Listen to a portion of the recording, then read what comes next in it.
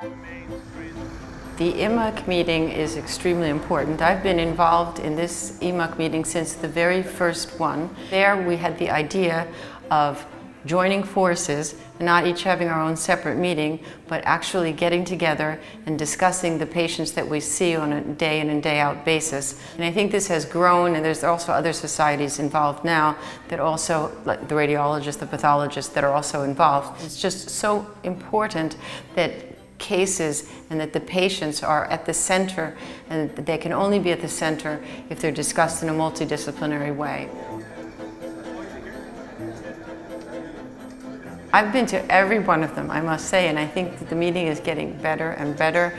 I think one of the highlights is that we do have um, more specialists from um, more different groups involved this year, and over the years it's been growing. The interaction has been fantastic. The interaction among the radiologists, the oncologists, the, radio, the radiotherapists. Just from the first time we organized the meeting, the steering committee composed of people from ESMO, ESTRO, and EAU, we all worked together in a way to make, with the scientific committee to make a really great program.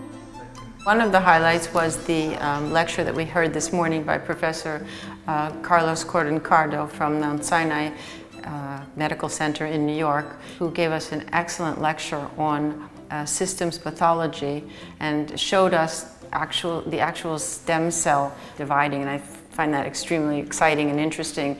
In terms of um, uh, bladder cancer, we just heard an excellent lecture by Tom Powles about the new checkpoint inhibitors, this new immunotherapy in bladder cancer, and we're seeing really excellent results with that. I gave a lecture on adjuvant uh, chemotherapy in patients with bladder cancer, and uh, we had very interesting results that have been published in Lancet Oncology. So to conclude, there's a convergence of evidence in support of adjuvant chemotherapy and a strong likelihood that there will be level one data when we do the meta-analysis with the other two trials.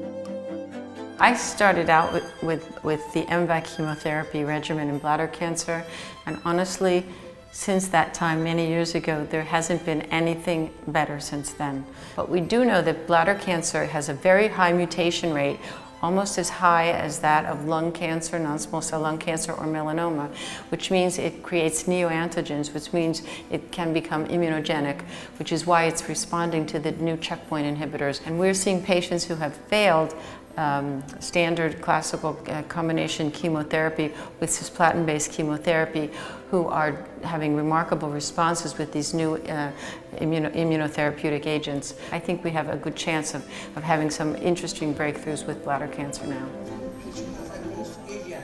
I think that uh, the same kinds of topics will, will be presented next year. We will have a, a, lot more information on the checkpoint inhibitors by then.